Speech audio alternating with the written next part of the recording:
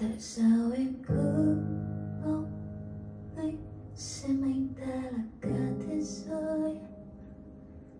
Trong khi người ấy luôn khiến em buồn, xem ra đâu thật lòng yêu em.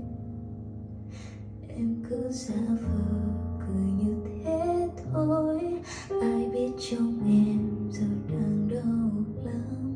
việc gì em cứ luôn phải tỏ ra mình mê những lúc yêu tại sao em cứ dốc hết con tim yêu một người vô tâm?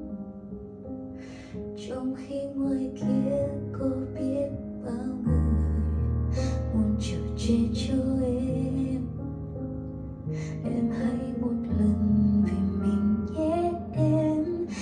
xứng đáng hơn vạn lần như thế. Việc gì em cứ luôn phải tỏ ra mạnh mẽ